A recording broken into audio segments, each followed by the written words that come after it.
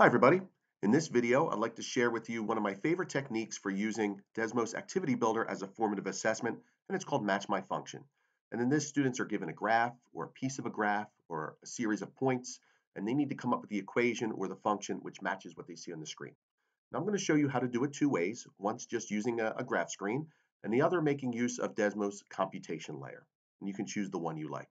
Um, so I'm already here at teacher.desmos.com, and I've started a new um, activity builder.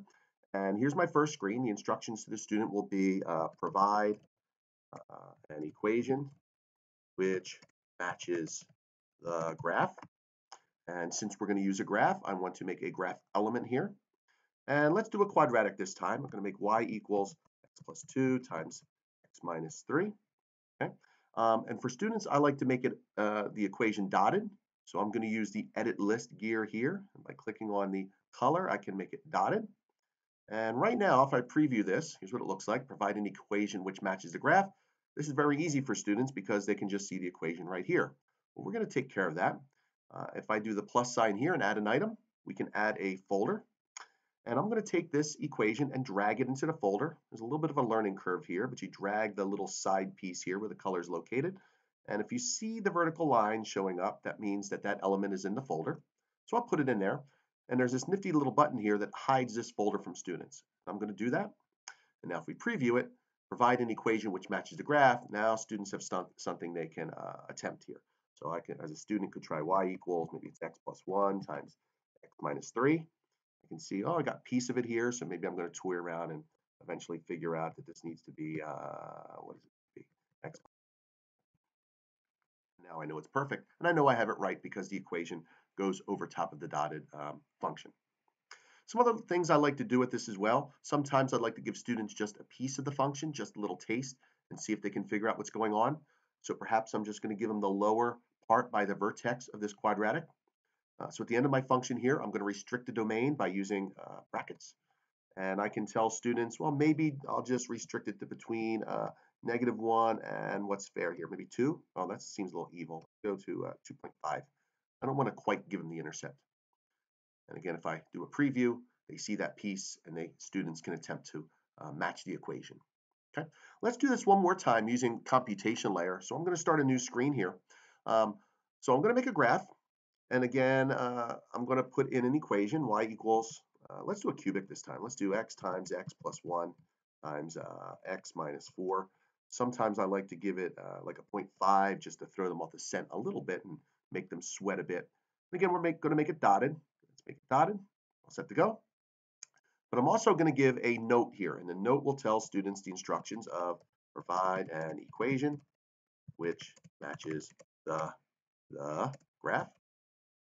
And I'm going to have students input their answers using an in, input uh, element in here. So I'm going to click input, and notice it's text or math. I want a math input here, and I do not want students to show um, their classmates' responses. I want this to be a one-on-one -on -one activity. It looks like right now, provide an equation. But if I type something in here, like if I try this, if I think it's x times x plus 1 times maybe x plus 3, what I'm typing does not appear in the graph. And ideally, I would like the equation to communicate with the graph. And you can do that by what's called a computation layer. And computation layer is Desmos's in-house uh, coding language that allows elements on the screen to talk to each other. And ideally, I would like this expression input to talk to the graph. And we can do it in a few simple commands. Um, first of all, um, where it says unlabeled expression input, we need to give that a name. I'm going to call it EQ2. It's an equation. I like 2 because it's on my second screen here. And I need EQ2, what students put in, to talk to the graph. So if you ever look at Activity Builder and you wonder what these little gears here in the gray boxes are, well, those are ways you can access computation layer in the programming language. So I'm going to click the one over by the graph here. And right now it's blank because there's nothing going on in the background. But here's where I'm going to tell the graph, hey, grab that equation from EQ2. And you can do that using something called raw expression. So the raw expression I'm going to take from EQ2. I'm going to call it something. I'm going to call it A for lack of anything else. It is a string that I'm grabbing from EQ2. Uh, colon, that's not a colon, colon. And it's EQ2 dot, and since it is uh, programming um, it's a program, pro, yeah, programming language. Um, the way that you type mathematics into here, it's called LaTeX. Anyway, so I'm just going to put LaTeX here. that's going to grab EQ2, that equation, and put it into the graph.